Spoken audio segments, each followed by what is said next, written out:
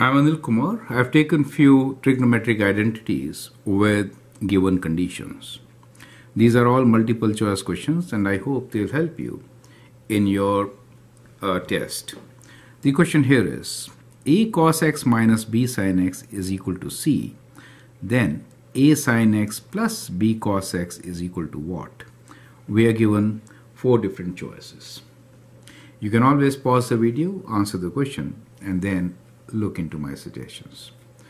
Now, when you see the choices with kind of squares, it gives you an idea that let's add these squares. So we'll just write how to find. So we have a cos x minus b sin x. We'll square this term and add with the square of the other term, which is a sin x plus b cos x.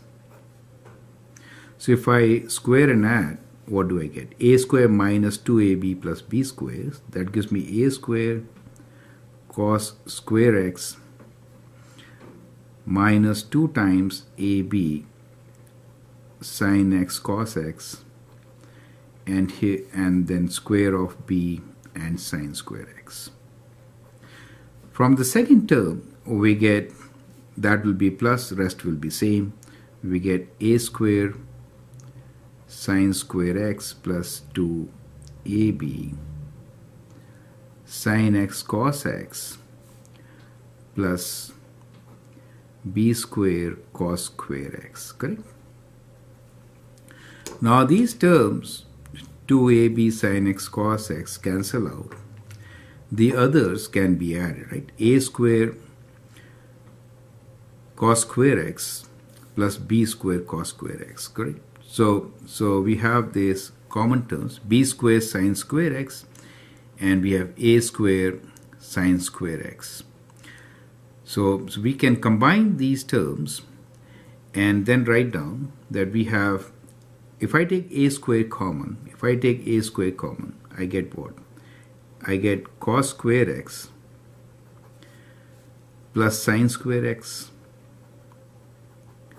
And if I take b square common, I get sine square x plus cos square x.